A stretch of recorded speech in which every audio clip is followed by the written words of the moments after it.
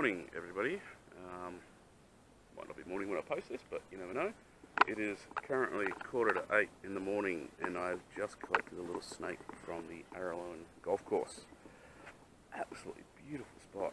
Um, so I'm now releasing this little snake out here. It was not what I was expecting. Um, this is a Parasuta nigriceps, commonly known as a blackback snake or also known as a Mitchell's short-tailed snake. Um, not that you can see it very well through there.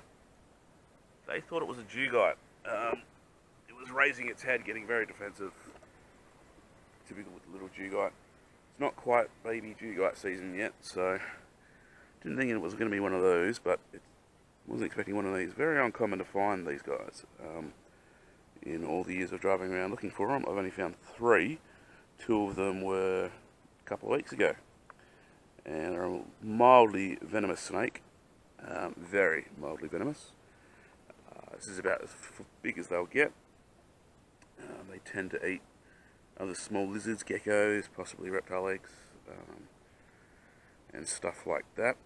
Um, fun fact, I was bitten by one of these a couple of weeks ago when I found them. Found two, photographed them. Um, the live one was a little bit feisty. And as I was trying to calm it down, it got me on the finger. Hurt for a couple of weeks. Um, not that I recommend it, but it was interesting to see the effects of a mildly venomous snake. Uh, the second one we found was dead, so it was kind of much easier to photograph. Anyway, um, this guy was actually really quite feisty. Um, as I said, was raising its head up at people. And um, when I found it, it was not shy about biting. It had some cobwebs on its head, so I was trying to pin its head to get all the cobwebs off it. And it was biting the hook, it was biting, trying to bite the tub that it was in. Tried to bite me a few times, pooed on me. That was pleasant. Seven o'clock in the morning getting pooed on by a snake. Um, so, because not many people get to see this, guys, you know, trying to get out that little hole.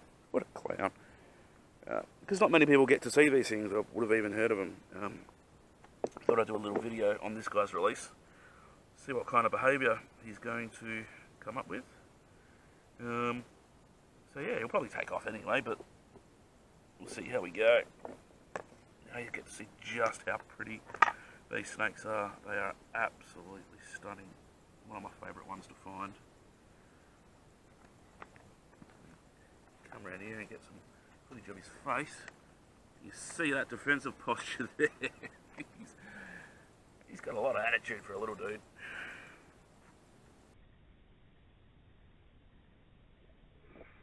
he's launching himself at me. I actually find this quite adorable to be perfectly honest. Still coming at me. Dude.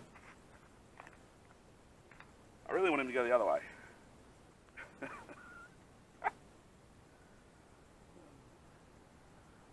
Cyclists coming past.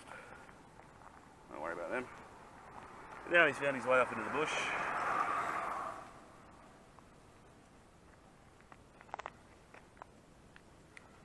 See him down in there.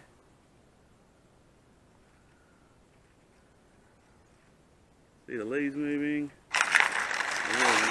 Hopefully he'll just hide in there for the rest of the day. Alright, well, I better end it there. We have a display out at 2J today, so I'm going to head off out there. Hope you enjoyed that little video.